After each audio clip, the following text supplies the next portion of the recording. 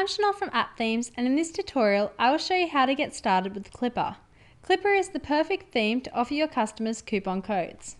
After you activate this app theme, you will see four new menus on your admin dashboard, titled Clipper, Payments, Coupons and Forms. I will refer to these menus throughout the tutorial. Before we configure Clipper and payment settings, we will need to enable membership settings. This can be found under the WordPress settings menu. You'll see it right next to membership. If you tick this box, anyone will be able to sign up to your site. Once you've ticked this box, just simply scroll down and save the changes that you've made. We'll now move on to Clipper settings. So under Clipper, you'll see the settings menu. Just click on that one and you'll see nine tabs at the top of this menu. In this tutorial, I'll just go over the main tabs that you might like to configure changes in. We'll start in the General tab of the Clipper settings. So this is where you can customize the appearance of your site. You can choose a color scheme. We've got five to choose from, so I'll go with the green theme for now. You can choose to have the slider at the top of your website. If you tick this, the slider will be featured on the home page. So that is what this is. And here is where you can enter in any social media accounts. So we'll just save those changes. The next tab we'll take a look at is the Coupons tab. Prune coupons, tick this box here if you'd like any expired coupons to be removed from customers' view. Registration, you'll need to tick this box if you want to manually approve each coupon before it goes live on your site. Tick this box if you want to have full control of the site.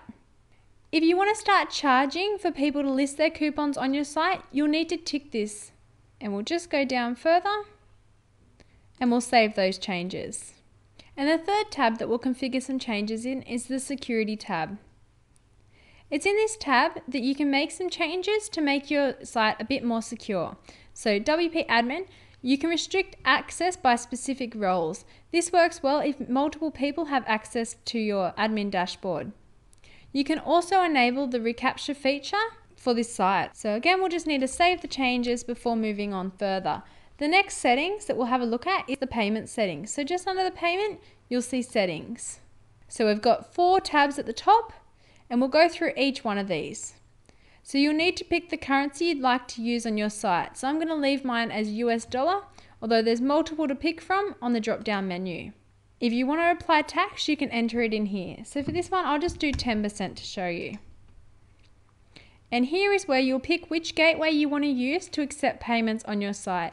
So you can choose to use bank transfer or PayPal, although we do have other gateways on offer in the marketplace. So for now, I'm going to go with both of them. So we'll save those changes. We'll head up to the coupons tab. And this is where you can make a base price for each coupon to be listed. There we go. And if you want to put a base price to list a featured coupon, you can do that as well. So we'll go with a base price for featured. We'll set that as $25. And the duration we'll do for 30 days. But you can choose to have months or years as well.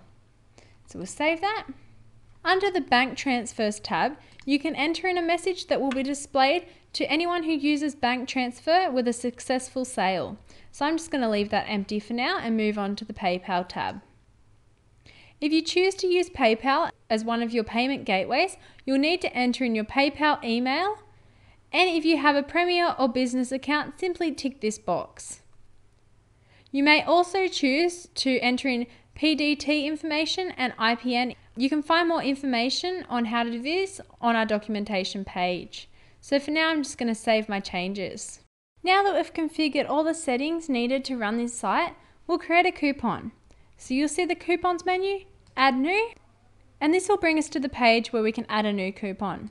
So we'll need to give our coupon a title. So I'm going to go Amazon discount. You can add a description and I'll scroll down so you'll need to enter in a URL of the site for the coupon. You'll need to select the type of coupon that you're offering. So I'm going to offer a coupon code. And I'll need to enter in the coupon code. So I'm offering 10% off. So I'll say 10%. Now that I've done that, I'll scroll down further. I'll need to select a listing plan for this coupon. So this will be how many days it's displayed on the site. So I'm going to go with 10 days for this one. Once you click off that, it will tell you when it will expire. And you can also choose to feature this coupon on the main page. So I'll go yes with that one and we'll just feature that for five days. We'll just publish that out. So now that I've published that discount code coupon, I'll show you what it will look like. So there you can see my Amazon discount codes right there and any customer that comes on and sees this can simply click here. They can copy this and then they can open it into the site where they'd paste it.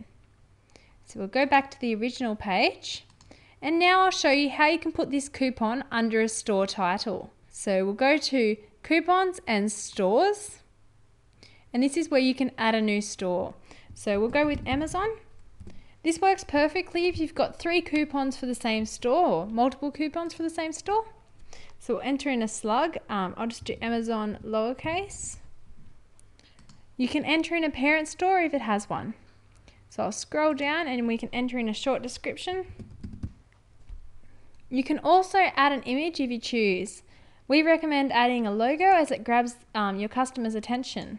Go with the Amazon logo, insert into post and you can add your store URL here. This way customers can just follow this URL to your store and use your coupon code. Um, you can have an affiliate URL for the store. I'll leave that for now. Um, my store is active, yes, and store featured, yes. So we'll add new store.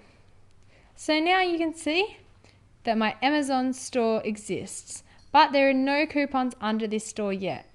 So we'll go back to all coupons and the Amazon discount coupon that I just created will add to that store. So you'll see here the options. I'll add it to my Amazon store and I'll update. Now if I go back to stores, you'll see that Amazon has one coupon under it. Once you place your coupons under store identities, you'll be shown something like this on your site where you've got the store at the top and all the coupons from that store will be underneath. So that brings me to the end of this tutorial on the Clipper app theme. If you still have any questions or queries, feel free to contact us.